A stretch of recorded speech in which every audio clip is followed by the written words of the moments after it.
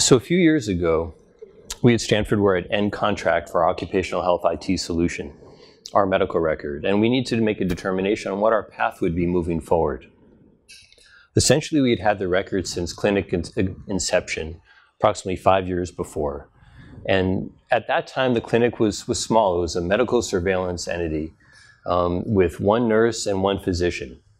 And since that time, our, our needs had changed and we had grown in, in dramatic ways.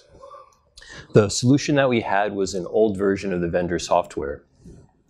It was click intensive, not much was automated, it was difficult to pull reports, and ultimately uh, was not meeting the functionality that we needed. But in terms of thinking about who we were going to move forward with and what that process was, we had to first recognize not just whether it's with this vendor or a different vendor that we move forward with them, we had to recognize who we were, where we think we wanted to be, and with whom did we want to advance. And this internal introspection kind of led us to, to think about the fact of, of where we fit in the piece of the atmosphere that was Stanford. And we were at the time, and we still are, a smaller but equal component of a larger health and safety team. And to insert ourselves and be a fully functioning member of this team, we recognized that we needed to collaborate with these groups in, in a far broader way than what we were currently doing. Uh, we had grown as, as a clinic to uh, with our care encompassing full workers' compensation care, injury treatment and follow-up, uh, medical surveillance for infectious disease and animal care, travel medicine, fitness for duty exams. We'd expanded to covering over 20,000 employees and 15 personnel in the clinic, but that was our clinic. And, and how, as a group, could we move forward with health and safety, and how could we leverage this medical record we we're looking to get to, to bring us there?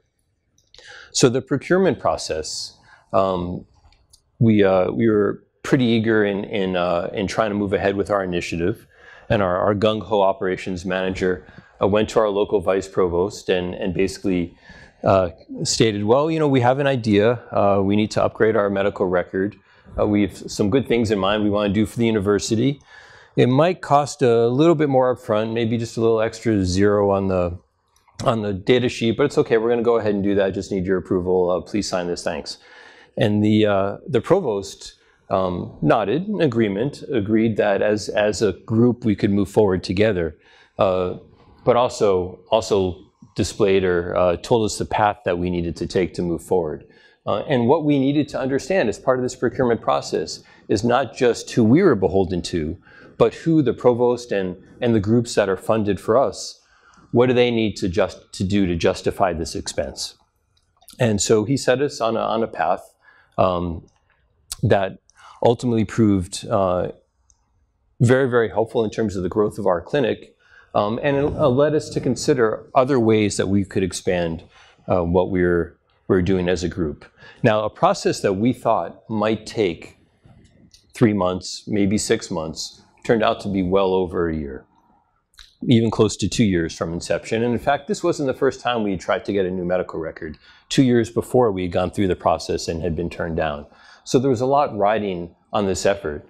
Uh, because realistically, if this were not approved, it could be a number of years before we move ahead with another record. And, and really, it would affect not just what we do internally to the clinic, but our role within the university. And we were looking, and we are looking, and continue to look to expand our health and safety role. So as first partnership, we looked internally um, to health and safety, but external to our group, and recognized that our, our health and safety team, environmental health and safety, had needs that uh, basically were in concordance with ours. Um, and one of the major deficits that they had was the injury reporting on campus was paper-based. This was uh, essentially when an injury occurs, an employee would fill out a paper form. This would go to the supervisor, and then this would then go to health and safety. For a variety of reasons, there were significant lag times. And even when reports were viewed, it could be two to three months after an injury where some critical um, injuries were actually uh, reviewed for an, or an analyzed, analyzed for cost or even um, for uh, in terms of uh, prevention. And, and so we recognized that they had a need for an online system that they could access that had incident reporting and tied into our medical record. And, and the reason for this is another, another constraint that health and safety had was injury analysis. We were relying on a third-party vendor to prepare reports. Uh, these reports are often based on either incorrect or incomplete data, and then it analyzed this data based on questions that weren't even pertinent to us. So we, we wanted to grab, grab this and take hold of this. And our pitch to health and safety was we can make a whole campus-wide incident report that can be accessible online. We can control the data. We control what comes in. We can control the questions. If it's not doing what we want, we can change the questions.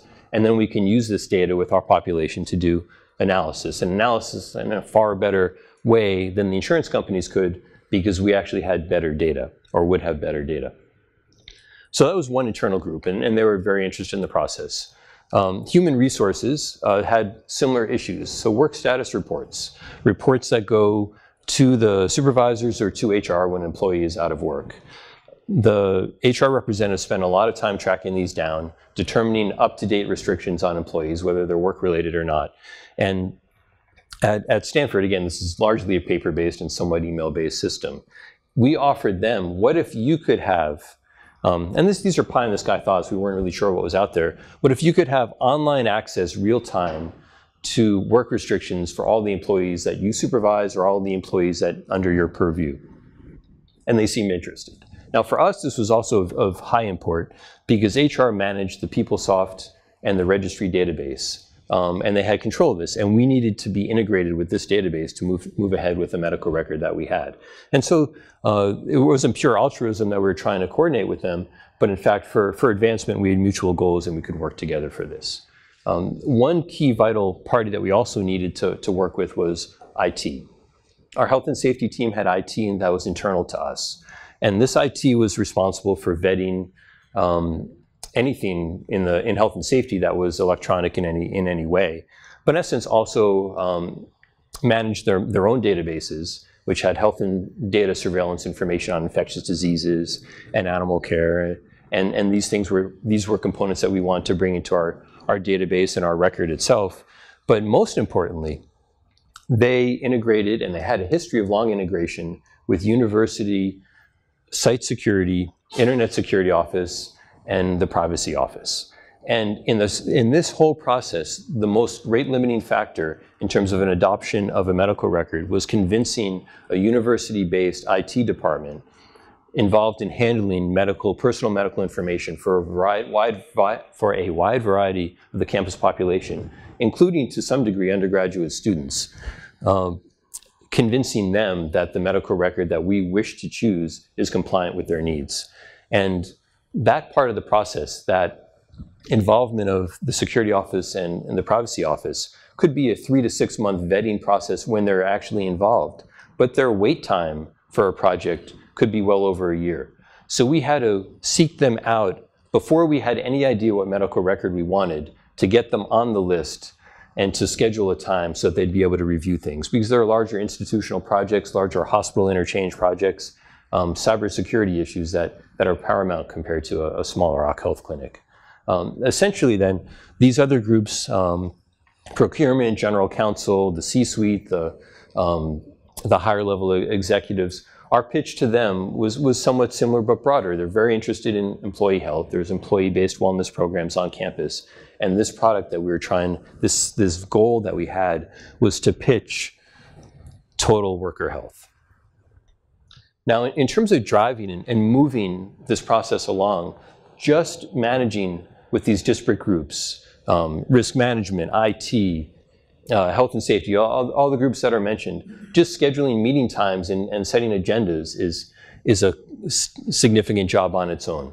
Um, let alone trying to bring a group of people who tend to have various interests, who do not want to go to A to B linearly, and instead take a more circuitous route. So what we wanted to do is we is assign a point person who could really manage this process and manage this process firmly and with resolve. And, and we chose our, our local, our clinical operations manager. And this operations manager, we benefited from the fact that she had private, private practice background, um, significant budget um, expertise, including working in a clinic with a constrained budget. And this was very important for the groups that we reported to understand that we were actually budget, budget conscious and really focused on not just the product, but the way and the cost that, that would be necessary to achieve this. And, and we needed someone, and this is, I think, a, a, a really good point about the process, is not who could just handle all that, but who was also a connector.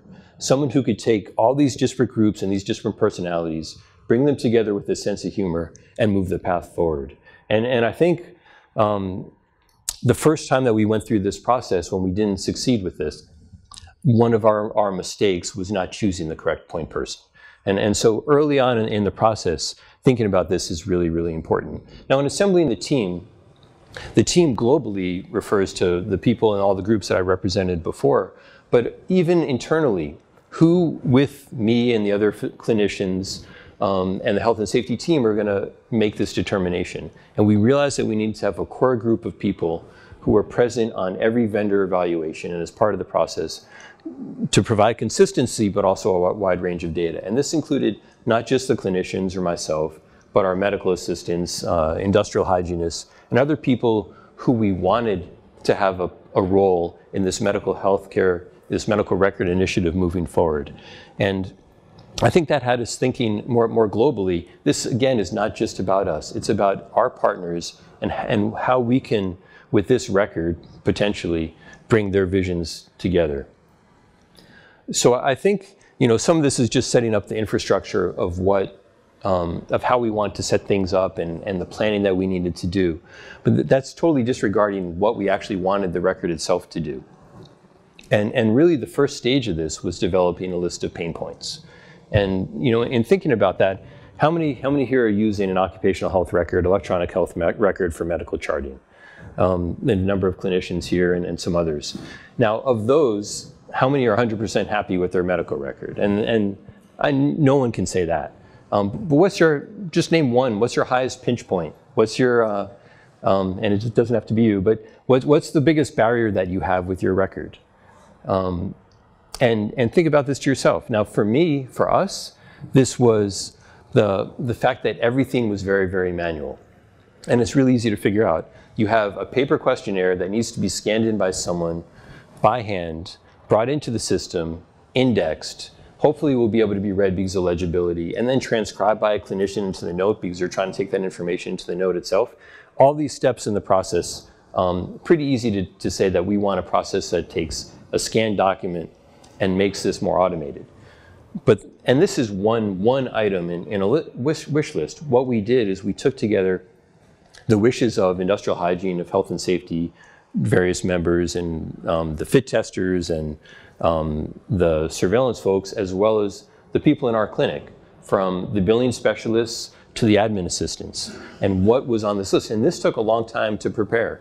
Now, we certainly we used Excel spreadsheets, there are Google shared Google documents. Now you can use Trello or Slack or these other tools to be more collaborative in, in real time with some ease. And we created a list of well over 40 categories of places that we wanted to improve and well over 100 specific line items of either nice to haves, must haves, or pie in the sky type um, type goals. And, and so then became the fun part of the process. So this, this is very labor intensive, but extremely, extremely important. If you do not define what you need with your record, then when you go through the process, those get that gets lost. There's too much going on, and you need to have to be able to develop that checklist and vet that against each of the vendors.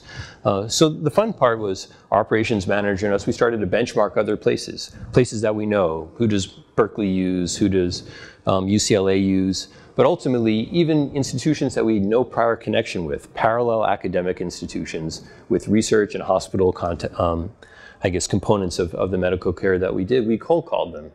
And we talked to them about their medical record. We had interview sheets that we set up just so we made sure we talked on specific points. We used the networks that we had, our local ACOEM or WOEMA or nursing networks.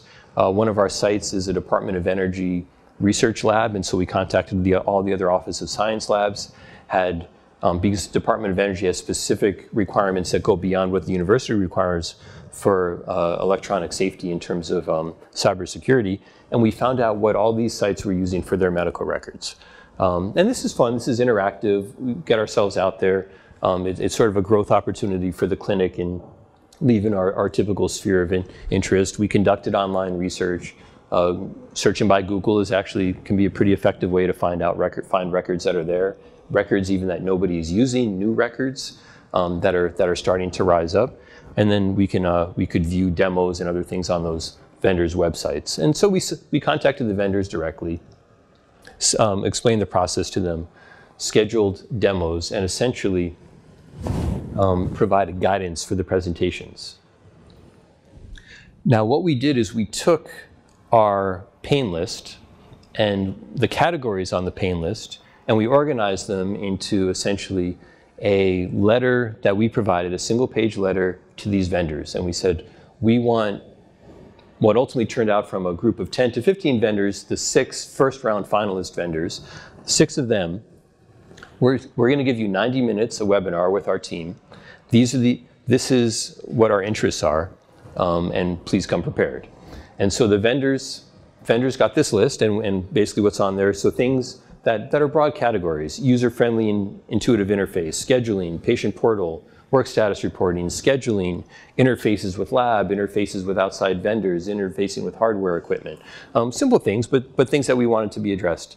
Um, and what we did is we let them run with it. So when we started the call, we let the vendor show us the software on their own with, with very little guidance, at least for the first portion of the call. Maybe they would show us what they did best. Maybe they would show us how easy it is to use. Hopefully they paid attention to this and they were trying to address what our needs were, although that wasn't always the case. And what was really interesting in the process is even without our prompting, even without our interference, these, these medical record entities, nationally known, well vetted, stumbled. Um, and these experienced um, outreach teams could not um, actually had with often we would hear oh this doesn't seem to be working today. I'm sorry this is really slow. This is something new that we just developed. And we'd realize right away without doing anything the, some of the problem points that they had with their record. It was totally fascinating. And then on top of that that gave us a time where we actually wanted to direct them toward what our list was. Um, we could step in and, and throw a little wrench in the issue and see how they they apply. Now we understand people have bad days and, and sometimes presentations don't go as planned. Um, and, and so what we did um, is we allowed them an opportunity to answer questions afterwards um, in, an, in an email that we sent out pretty uniformly to the groups describing things that we felt we might not have been clear on. Now what we did is we took their scorecard, this one page um, this one page list of topics we wanted them to address, and we created a scorecard ourselves with high priority items and low priority items, and a rating of zero to three, with zero meaning no functionality, and three being highly impressively functional. Generally, two or three meant they could do something pretty, pretty darn well. And we took our team, and our team was consistent from vendor to vendor. And this is important. If, if you're trying to grade something, you want there to be internal consistency. And for us to have different clinicians and different IT people and different health and safety people in for these six vendor meetings would, would throw off sort of the, the base of what we're trying to do. We wanted there to be a team that, that had this really um, kind of embedded comparison in their mind of what to do. And so they, they graded, and everyone graded separately. And so it was purely objective, I mean, purely uh, numeric. Um, and at the end, we, we compiled these and we, we saw was there a difference between these groups? Um, on occasion, the one vendor might have a zero one category from some people and a three in others. And it could be because we had six vendors coming in and some people zoned out or weren't paying attention, or maybe they didn't understand what happened. And so we did have some qualitative discussions about where, where the vendors lay, but ultimately um, we relied on the numeric, and if someone disagreed, um, the majority averaged out, but that's kind of where things, things lay. Now, that all being said, what, what ultimately happened um, was that 80 was that one medical record um, was either highly successful or impressively successful in 80 to 100% of the areas on that checklist. Two of the other vendors were in that 60 to 80% range. And these were the three vendors that we moved on to our final stage. Um, it became clear in, in, going through the process, even without crunching the numbers, that these three vendors were in the lead. But it still was very, very helpful for us to see objectively what that meant. And this is an example of what a, what a scorecard, um, a comparison scorecard we used, and this is, I, I think in, in terms of understanding the budget um, application, the procurement process, it's very, very important to have a summary document that explains to someone who doesn't really care too much about the issue and doesn't want to delve too deep what the heck you were doing. And in this case, we put all, in this, in this one, five records on one sheet with the categories we were judging them by with relative comments about um, what their strengths and weaknesses were. And, and having these comments is, is, was also helpful because the process was six, nine, 12 months long.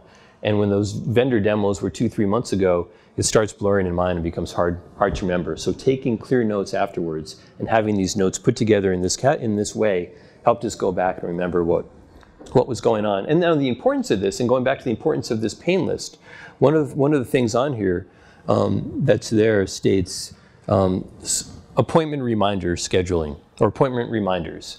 And so we could clearly ask a vendor, does your system have appointment reminders? And across the board, they would say yes. But what was really interesting was if we asked the question in a little more detail, um, what kind of appointment reminders do you provide? Well, we provide appointment reminders for only surveillance cases, or only for injury cases, um, or only until their due date.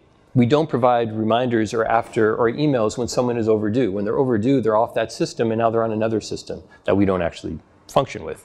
And so, um, and in another case, um, we, uh, if someone missed an appointment, we don't let you know as well. And so understanding that one broad question doesn't get the answer that you want, that you really need to have these detailed questions that, that you hit each record with. Uh, because some of the things, and one of the main things we need to do from a medical surveillance standpoint is bring all the people who overdo, overdo in, miss the loss to follow up on our occupational injuries and make sure that they're emailed to come back. And we want to automate this process so that we can free up our staff to do actually what they're trained for versus these mundane processes. And so we started with six vendors. The top three scorers advanced. Um, and at, before we moved into the second phase, we emailed each vendor a list of 40 to 50 technical questions that were put together by the IT group. And the IT group put this together in advance of the security review. So a lot of the same questions that the security office would need to answer, we asked the vendors up front. Um, and, and happy to share this list at, at any point. We additionally asked the groups for a, a, a, list of their pricing scheme. And we might have 30 users on the, our medical record for over 20,000, 30,000, 40,000 records. What, would it, what is your pricing scheme per year? What other fees do you include? And we didn't keep this general. We said, you have a maintenance fee?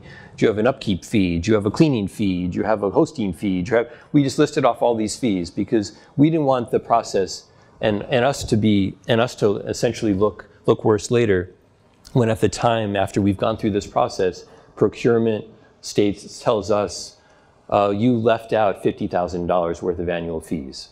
Um, and and for one or two of the records this was actually a, a showstopper as, as well. So for the second round we scheduled a deeper dive with the groups. This was two hours face to face or or webinar webinar webinar based the first 60 minutes we had our health and safety our core team who'd been there for all six records ask mundane, routine, and then critical questions um, ad hoc to the to the group. So we did not tell the vendors what we were going to ask them for. We wanted them to be able to respond on the fly. Show us how you print this. Show us how you navigate to this, and and really and hit them um, in a more stressful situation to see if what we observed during the first time would hold during the, the time after that. Following this, these partner groups, these groups that we work to integrate with, which is risk management, HR, um, Epic IT, a bunch of other groups, we brought them, them in and they asked questions that were mundane to them. If we wanted these other groups to be on this record and share it with us, did this record meet those needs as well? And we needed that from a budgetary standpoint, but also from a functional, functional standpoint. And so we had patient portals and supervisor portals displayed displayed for them. The interesting part of this and having, having a team that you're willing to have a little too many cooks in the pot, or cooks in the kitchen actually, the, uh, you know, there, you create an opportunity uh, for a lot of disagreement and, and strong personalities to overtake overtake the, uh, the dialogue and push it in a way that me, myself, might not have wanted it to go, or our team would have want, not wanted it to go. But the corollary of that is the Epic IT group in an example. We had them around for the final round, and they were grilling each medical record system about what to us, what is crucial integration with what Stanford Hospital does. We use it for, for x-rays, we had used it for billing, um, we order labs and, and we view medical reports. So we needed, we really desired functionality for integration with the Epic system. And what the, what the IT personnel were, were talking, and, and much of it was, was technical speak, but it was pretty apparent to even the non-technical people there that one or maybe even two of the finalists didn't have the expertise to integrate with Epic in a secure way in a timely way and, and really in any meaningful way that was going to have that team approve this, this record as a vendor. And, and so we were willing to take risks by having these other groups involved because in the end, it led us to less buyer's remorse once we got to the end stage. Um, ultimately, to another key thing is, is just like uh, when you study for a test that you want to look at old test questions and, and sort of really kind of do something pragmatic and, and practical we contacted end users of all these records and either sat face to face with them or webinared or web chatted or, or, talked in detail about their experience, not just with using the record, but with the migration process and, and the whole kind of A to, A to Z um, interchange that they had undergone. And this, this was very, very helpful for us. So from this phase two, we created a scorecard. And, and this is nothing, nothing fancy. This is actually Excel based. Um, and color coded in, in, a, in a weak um, or but functional way. And um, or simple but functional way. And really what it did, and, and these vendors may or may not have been, this may, not or, may, or, may or may not have been the actual ratings that were given, but we were able to pull out, and this was four or five pages of items like this, every line item of things that we were interested in with each of the three records, and whether or not grossly they met, didn't meet, or might meet those needs. And when we want, and when we want to submit this, and we've submitted this to our, our provost for approval, quickly, again, they can look at this, see a broad category, see a question within it. One, understand that we did due diligence, but two, be able to just visually see quickly where one record stands out compared to another or another. And, and, and this, this, um, this is highly important, but goes back, and the foundation for this is based on that pain point list that we made for six months with help of all the rest of our staff. And, and so, um, again, the foundation makes this whole process easier, and again, it makes it more consistent to do. So,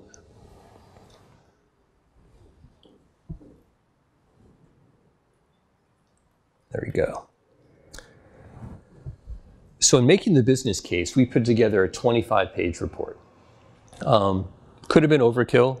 That was probably written text and diagrams, plus multiple appendices which listed all these um, all these uh, reports that I mentioned, the wish list, the scorecards, the cost justification, the vendor analysis, final reports, um, and an executive summary that really brought this down into one page. And now, in thinking back to the procurement process, why was this even important? And, and maybe, maybe this was too much, but in perpetuity at Stanford, through two years from now, five years from now, as long as we have this medical record, our vice provost, provost group ne might need to defend the choice of this expense down the road to their superiors. And this document, um, which probably no one would read in entirely, entirety, um, would be the, the foundation for that. And, and so um, we want to make sure we were successful, and, and in, this, in this case, um, ultimately it was approved. The, uh, this was an internal document we put together just in thinking about how a new record would help us. And we went from a, a record that had a large number of manual processes, um, and we were trying to automate as much as we can. Um, and so if we had 10 minutes of MA, MA time scanning the document, indexing, and now the new record, if the scanning is automated, becomes two minutes of an MA time, that differential in time we turned into a monetary value um, for the clinicians, for the medical assistants, for the admin assistants. And this was not a pitch we made formally, but internally, um, the number here is about 150,000 per year. Um, the true numbers, depending on the estimates, could easily be a third of that. But essentially, what we were recognizing is we're clearing up at least a full MA's salary or time for them to do the work they were trained for and to help the growth of the clinic and the health and safety of the university rather than on tasks that should be done automatically by a computer or a system. Um, and, and this, um, in itself, this, this, this time, this framework helped us understand that um, the true costs of this system were less than, than what it might be. the this was a, a, final sheet that we included. This was another four to five to six page document that took all our current pain points in the left column that we developed initially, all the goals that we had at the start for what our new record would be, and the right hand column was what the record that we ultimately chose, what functionality would it have, um, and how would it meet or not meet those goals. In large, in large degree, it met the goals that were on there. But essentially, someone could take a look at this and understand where we started and where we ended up and feel happy with that process. So ultimately, we notified the selected vendor that they were our choice. We notified the incumbent vendor, the one that we were using, um, that we were moving away. Now, this vendor was involved in the process and did not make our final round, so they're aware that we were moving on. Um, but in, in, think, in, in even this step of the process, we wanted five, six years of medical record data to migrate successfully um, and without issue from this record to our new record. And, and we needed their support for this. They could have made it harder. Um, it, it could have been a lot more of a barrier. And in fact, the fact that we kept an open dialogue with them, we were very honest throughout the process, um, and they remained very professional, that this process worked very well and streamlined. One of the other things we did is we ensured that there was significant overlap between the two records.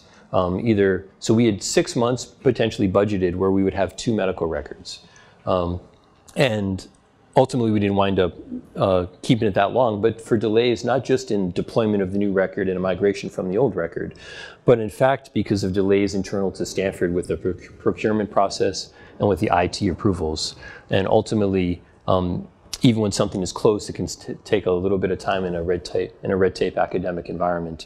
Um, and this allowed us, even at that stage, not to be left um, kind of high and dry from a clinical standpoint.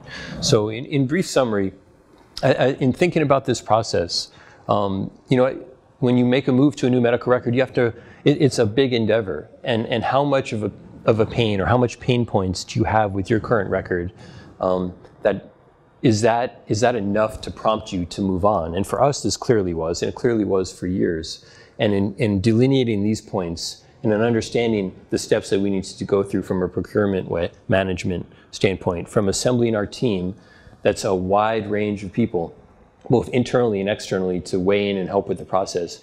We as a clinic ourselves grew and it's not, not just grew kind of intellectually or emotionally, or, but we grew from being sort of a, a one-off clinic in a small part of campus in a, as part of a component of maybe um, you know, recognized health and safety to becoming a larger player with risk management, with um, HR, with, with all these other disparate groups around campus, um, and in fact now have a much more leverage to push these national or these, these campus-wide initiatives for health and wellness. And part of this process enabled us to make a case for a new medical clinic at a time where even budgets on campus were being constrained. And so in fact, in a couple months, they start breaking ground at a new clinic where we'll have on-site PT, on-site acupuncture, um, larger space and, and education and training. We can bring in some of the wellness teams for nutrition talks. And so this this discussion on medical record, which seemed initially to have nothing to do with the rest of our role on campus, ultimately has, has propelled us forward. Um, and, and it's been a really, really positive experience.